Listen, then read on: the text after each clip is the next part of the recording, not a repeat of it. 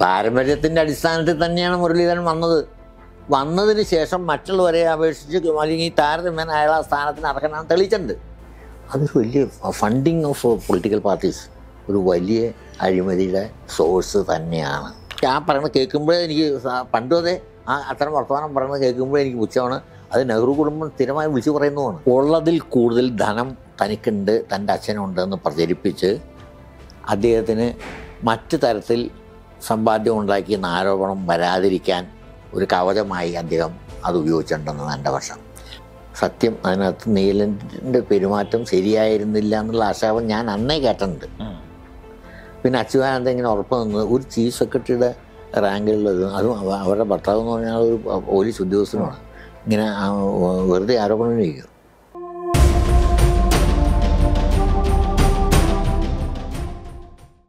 ഈ പാലക്കാട് ഇലക്ഷൻ പ്രഖ്യാപിച്ച സമയത്ത് ഏറ്റവും കൂടുതൽ പ്രശ്നം ഉണ്ടായിരുന്നത് കോൺഗ്രസിലാണ് കോൺഗ്രസിൽ വലിയ രീതിയിൽ ഉണ്ടായി വിഷയം ഉണ്ടായി നമുക്കറിയാം. അവിടെ നിന്ന് പിന്നെ ഡോക്ടർ സരിൻ കോൺഗ്രസ് പാളയത്ത് നിന്ന് വിട്ട് സി പി എമ്മിലേക്ക് ചേക്കേറൊക്കെ പക്ഷെ അവിടെ വേറൊരു സംഭവം കൂടിയാണ് നടന്നത് കെ. കരുണാകരന്റെ മകൻ അതായത്.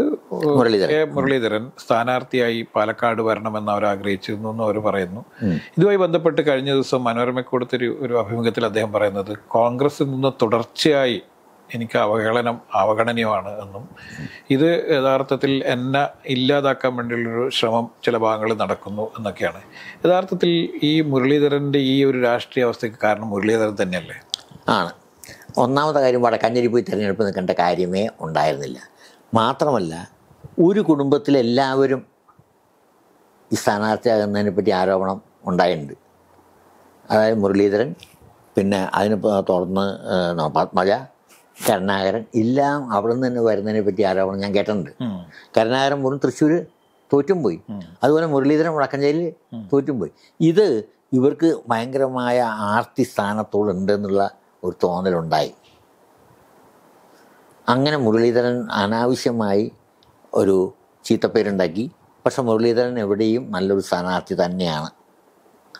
എന്റെ അഭിപ്രായത്തിൽ ബന്ധുക്കളുടെ പേരിൽ രാഷ്ട്രീയത്തിൽ വന്നതിൽ വെച്ച് ഏറ്റവും കഴിവുള്ളവൻ മുരളീധരൻ തന്നെയാണ് അല്ല പക്ഷെ പാലക്കാട് ഇത്തവണ അദ്ദേഹം തോറ്റിട്ട് അഞ്ചു മാസമേ ആയിട്ടുള്ളൂ. വീണ്ടും അദ്ദേഹം പാലക്കാട് പരിഗണിക്കപ്പെടേണ്ട ഒരു രാഷ്ട്രീയ സാഹചര്യം ഉണ്ടോ യഥാർത്ഥം? ഇല്ല. ഇല്ല. അങ്ങനെ ആഗ്രഹിക്കേണ്ട കാര്യമില്ലെന്ന് അയാൾ ആണല്ലോ ഇപ്പോൾ എന്തോ അല്ലേ? ഇപ്പോൾ ഇപ്പം സ്ഥാനമൊന്നുമില്ല സ്ഥാനമൊന്നുമില്ല കാരണം തോറ്റുപോയതോടുകൂടി അതെ. ഒന്നുമില്ല പക്ഷേ അദ്ദേഹം ഇനി അടുത്ത പ്രാവശ്യം വീണ്ടും തിരുവനന്തപുരത്തേക്ക് തന്നെ കോൺസെൻട്രേറ്റ് ചെയ്യുന്നു. തിരുവനന്തപുരത്ത് മത്സരിച്ച് ജയിക്കാനുള്ള ഒരു രാഷ്ട്രീയ സാഹചര്യം അദ്ദേഹം തന്നെ ഉണ്ടാക്കും എന്ന് പറയുന്നു. ഇതിനിടയിൽ എന്തിനാണ് അദ്ദേഹം ഇനി പാലക്കാട് മത്സരിക്കണം തന്നെ ആഗ്രഹിക്കുന്നത്? ആഗ്രഹത്തിന് അവസാനം അതിർത്തിയില്ല എന്നുള്ളത് തന്നെ. ആർത്തിക്ക്. എന്റെ എപ്പോഴത്തെ പ്രയോഗമാണത്. ആർത്തിക്ക് അതിർത്തിയില്ല എന്ന്. ഏ ഇപ്പോൾ വെറുതെ നടക്കുന്ന ഒരുത്തൻ പ്രധാനമന്ത്രി ആവാൻ ആഗ്രഹിക്കാൻ പാടില്ല എന്ന് പറയാൻ പറ്റുമോ? അദ്ദേഹത്തിന്റെ ഒരു മുരളീധരന്റെ ഒരു ഏറ്റവും വലിയ സംഭവം എന്ന് പറഞ്ഞാൽ കേരളത്തിൽ ഈ കോൺഗ്രസ് പ്രസ്ഥാനം വളരെ വീക്കായിരുന്ന സമയത്ത് ആ പ്രസ്ഥാനത്തെ ഇന്ന് വലിയ പ്രസ്ഥാനമാക്കി മാറ്റിയെടുക്കുന്നതിൽ വലിയ പങ്കുവഹിച്ച ആളാണ് കരുണാകരൻ, അദ്ദേഹം പറയുന്ന ഒരു സംഭവമുണ്ട്. അതായത് ഒൻപത് സീറ്റ് മാത്രം ഉണ്ടായിരുന്ന സ്ഥലത്ത് നിന്ന് കോൺഗ്രസിനെ പിന്നീട് അധികാരത്തിലേക്ക് കൊണ്ടുവന്നത് കെ കരുണാകരനാണ്. ആ പാരമ്പര്യ പുള്ളി പറയുന്നത്. അവിടെയാണ് വിഷയം. പാരമ്പര്യത്തിന്റെ അടിസ്ഥാനത്തിൽ തന്നെയാണ് മുരളീധരൻ വന്നത്. വന്നതിന് ശേഷം മറ്റുള്ളവരെ അപേക്ഷിച്ച് അല്ലെങ്കിൽ താരതമ്യേന അയാൾ ആ സ്ഥാനത്തിന് അർഹനാണെന്ന് തെളിയിച്ചിട്ടുണ്ട്. എന്നാണ് എന്റെ പക്ഷം.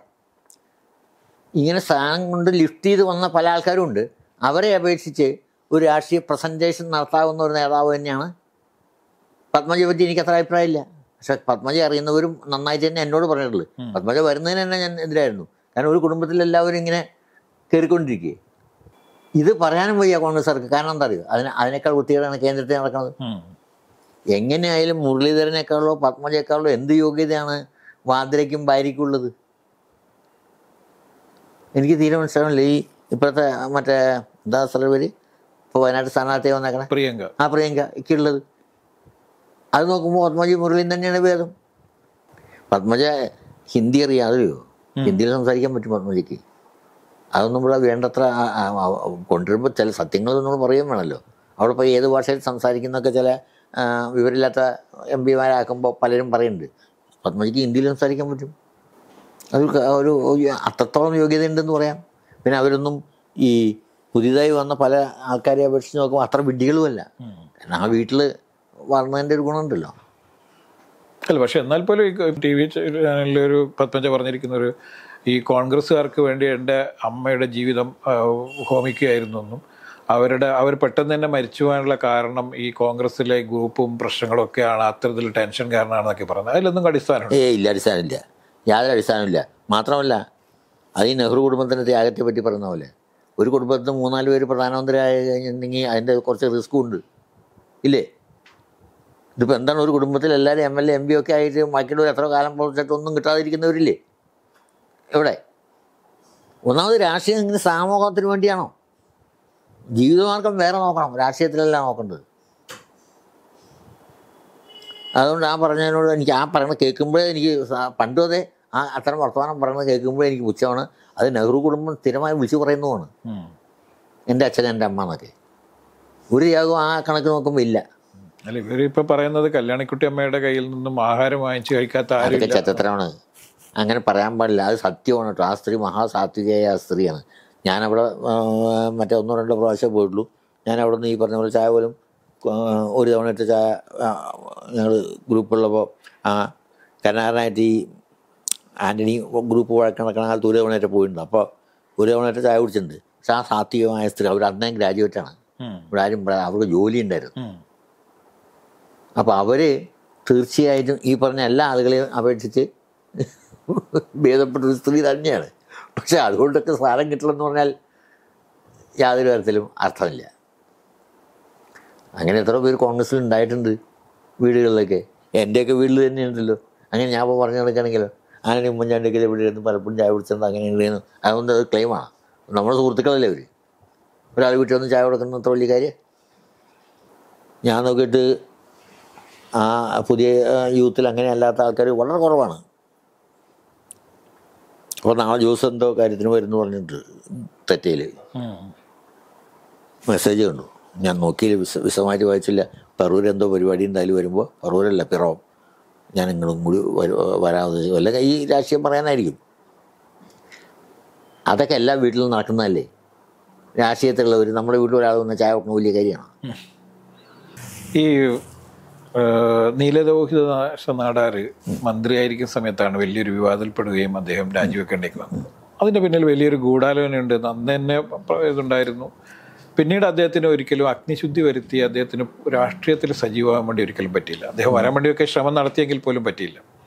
അതിൽ വി എസ് അച്യുതാനന്ദന്റെ ഒരു വലിയ നിലപാട് കൂടിയുണ്ട്. അദ്ദേഹം ഒരിക്കൽ പോലും അദ്ദേഹത്തെ സ്വീകരിക്കാൻ വേണ്ടി തയ്യാറായിരുന്നില്ല എന്നുള്ളത്. യഥാർത്ഥത്തിൽ ഈ നീലൻ കേസ് എന്താണ്? യഥാർത്ഥ സംഭവം. നീലൻ മറ്റേ ചീഫ് സെക്രട്ടറി ആയിരുന്നു ആ ഓ നീൽ ആ ഞാൻ കേട്ടത് ആ സംഭവം. സത്യമുണ്ടെന്ന് തന്നെയാണ്. സത്യം അതിനകത്ത് നീലന്റെ പെരുമാറ്റം ശരിയായിരുന്നില്ല എന്നുള്ള ആശാപം ഞാൻ അന്നേ കേട്ടിട്ടുണ്ട്. പിന്നെ അച്യുതാനന്ദ ഇങ്ങനെ ഉറപ്പ് നിന്നത് ഒരു ചീഫ് സെക്രട്ടറിയുടെ റാങ്കിലുള്ളത് അതും അവരുടെ ഭർത്താവ് എന്ന് പറഞ്ഞാൽ ഒരു പോലീസ് ഉദ്യോഗസ്ഥനുമാണ്. ഇങ്ങനെ വെറുതെ ആരോപണം ചെയ്യും വെറുതെ ആരോപണം അത് മൊത്തം വളരെ ഈ ലൈംഗിക സ്വഭയുള്ള ആരോപണമാണ്. ഞാൻ മറ്റേ ആ കാലത്ത് തന്നെ കോൺഗ്രസ്സുകാരിൽ നിന്നും കേട്ടിട്ടുണ്ട്. അപ്പോൾ അതുകൊണ്ട് നീലന് രാഷ്ട്രീയം നിന്ന് മാറേണ്ടി വന്നത് ഒരു അർഹമായ ശിക്ഷ തന്നെയാണ്. പിന്നെ നീലന്റെ ഭാര്യയ്ക്കും അത് ബാധിച്ചു എന്നുള്ളതാണ്.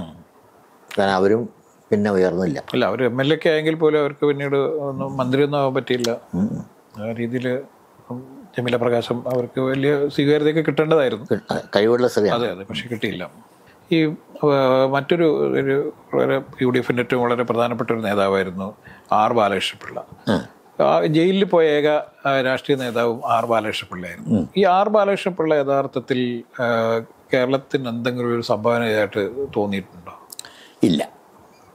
എനിക്ക് ആ ബാലകൃഷ്ണപിള്ള വെറുതെ പൊങ്ങച്ചം പറയുന്ന ഒരാളെന്നുള്ള നിലയ്ക്കും ഉള്ളതിൽ കൂടുതൽ ധനം തനിക്കുണ്ട് തന്റെ അച്ഛനുണ്ടെന്ന് പ്രചരിപ്പിച്ച് അദ്ദേഹത്തിന് മറ്റ് തരത്തിൽ സമ്പാദ്യം ഉണ്ടാക്കിയെന്ന ആരോപണം വരാതിരിക്കാൻ ഒരു കവചമായി അദ്ദേഹം അത് ഉപയോഗിച്ചിട്ടുണ്ടെന്നാണ് എന്റെ വർഷം വന്നു വന്ന് മറ്റെല്ലാവരും അഴിമതിക്കാരാന്ന് പറഞ്ഞ് പറ്റുന്ന അദ്ദേഹം അഴിമതി നിയമപ്രകാരം തന്നെയാണ് ശിക്ഷിക്കപ്പെട്ടത്.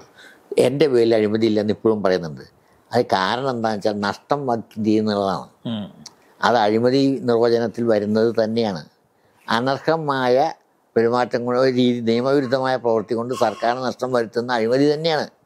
കാരണം എന്റെ ഒരു സുഹൃത്തിന് വേണ്ടി അല്ലെങ്കിൽ എന്റെ മകനോ മറ്റേ അനിയനോ ഒക്കെ വേണ്ടിയിട്ട് ഞാൻ കോൺട്രാക്ട് പിടിച്ചു കൊടുക്കുന്നത് അഴിമതി തന്നെയാണ്.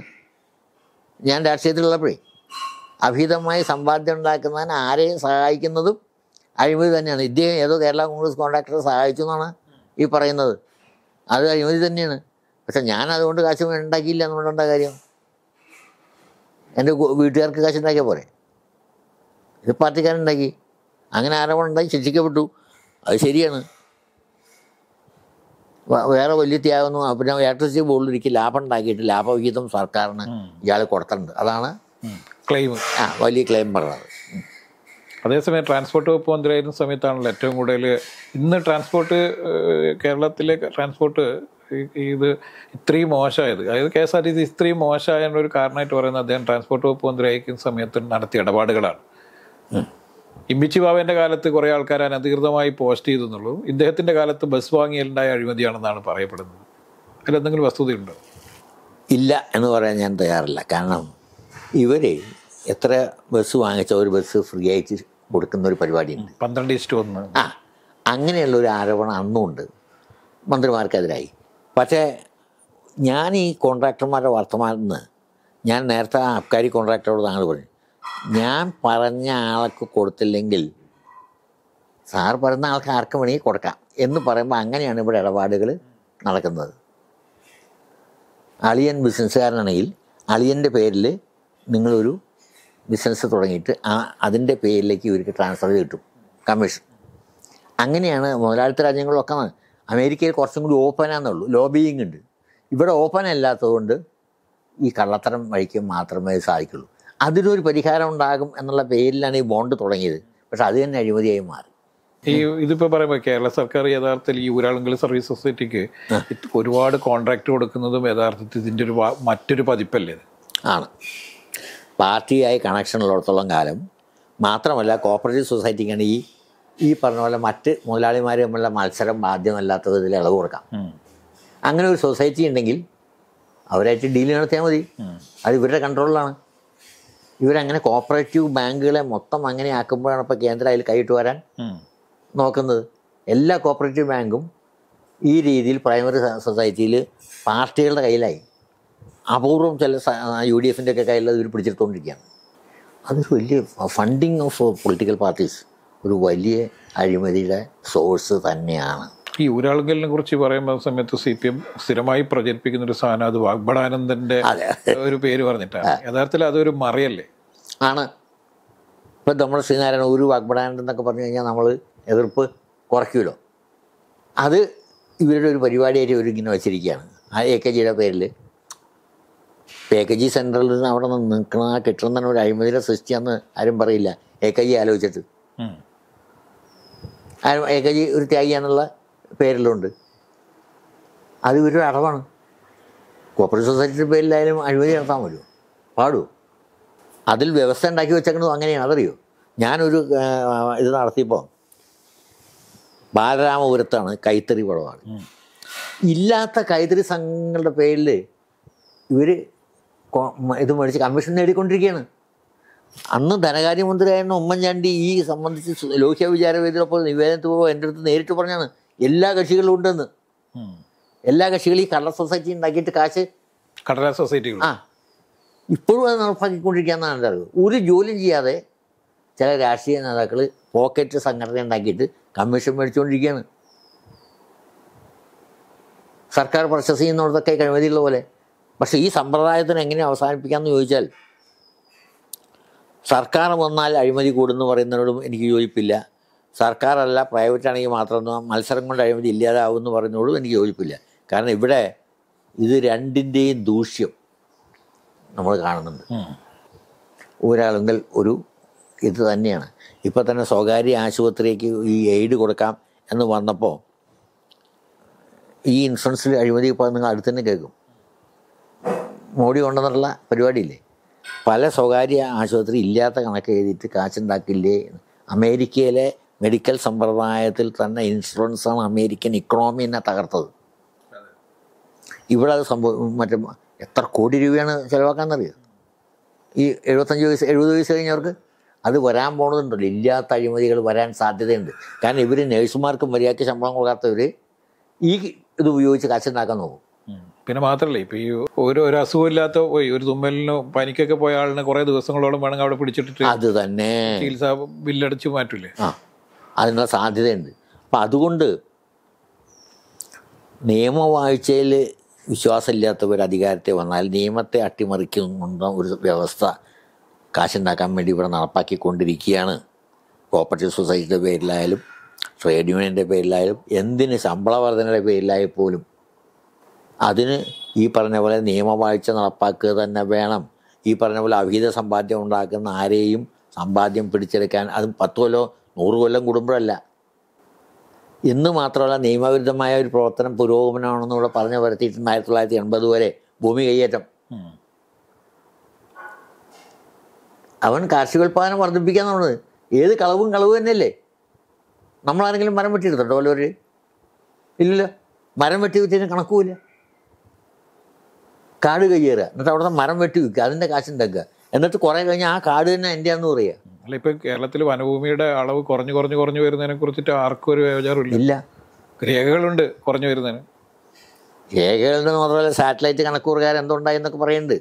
പക്ഷേ എനിക്ക് തോന്നുന്നില്ല. നമ്മൾ കാണുന്ന അനുസരിച്ച് ഒരു മരം അമ്പ നൂറ് കൊല്ലം കൊണ്ട് വളരുന്ന മരം എത്ര വെട്ടിപ്പോയി എന്നുള്ളത്. ഇപ്പം മുപ്പത്താറ് ഈട്ടിത്തടി വെട്ടിയതിനെ പറ്റി ഞാൻ പരാതി ഉന്നയിച്ചപ്പോൾ വെറുതെ കേസ് രജിസ്റ്റർ ചെയ്തിട്ടുണ്ട്? അത് എപ്പോഴെങ്കിലും ശിക്ഷിക്കുന്നു വിചാരിക്കുന്നു ഒരിക്കലും ഉണ്ടാവില്ല. ഉണ്ടാകാൻ പോണില്ല.